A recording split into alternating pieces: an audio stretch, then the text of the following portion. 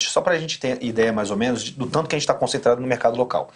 É, hoje, em média, o brasileiro ele, ele investe entre 2% e 3% no mercado local. Só que o Brasil ele corresponde a 1% das oportunidades globais de investimento. Então, a gente está colocando basicamente 97% do nosso portfólio em 1% das oportunidades de investimento do mundo. Ah. Só para você ter ideia do tanto que a gente está concentrado.